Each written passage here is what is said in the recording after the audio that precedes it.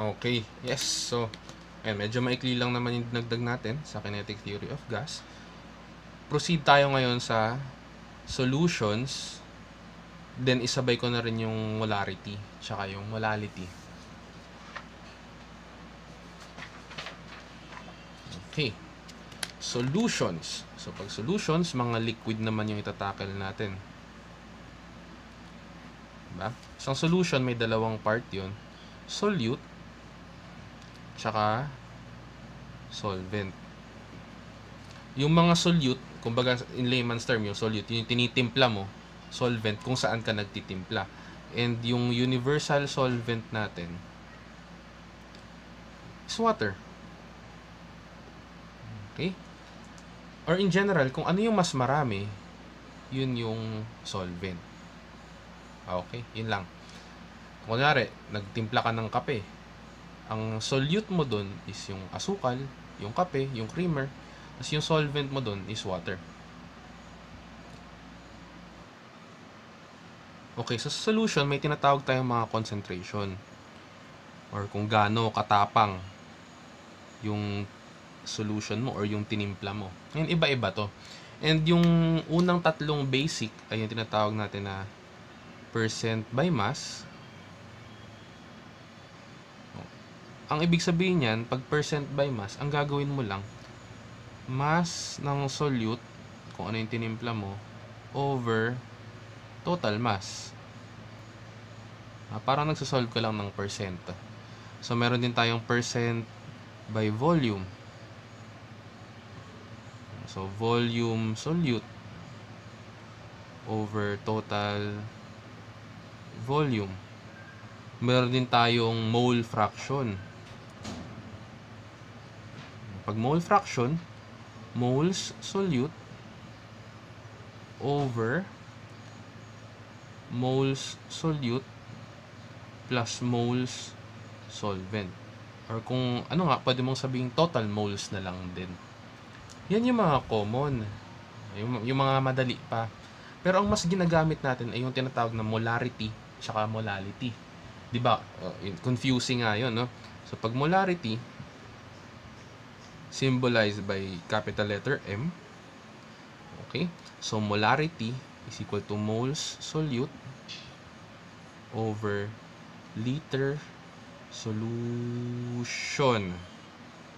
Okay, emphasis lang dito, ah, solution. So, ibig sabihin ng ah, solution, yung total. Alright? So, pag molality naman,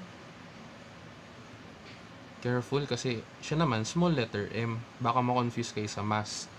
So, molality is equal to moles solute over mass ng solvent. Pero si, para hindi kayo malito sa M na mass na naman, gawin ko na lang kilogram solvent. Okay, so see, difference nila. Parehas N yung nasa taas. Pero ito, liters ng solution. Ito, kilogram ng solvent lang. Okay?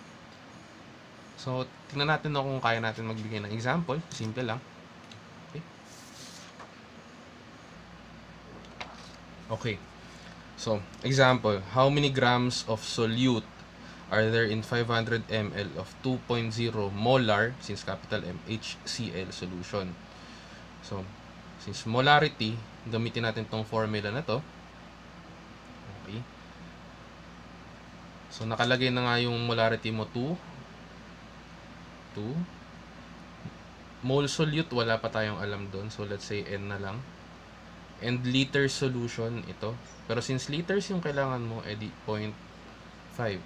Ibig sabihin yung N natin is equal to 1 mole. Pero ang tanong sa atin, grams. Diba? So, balik tayo sa formula na moles is equal to mass over molar mass.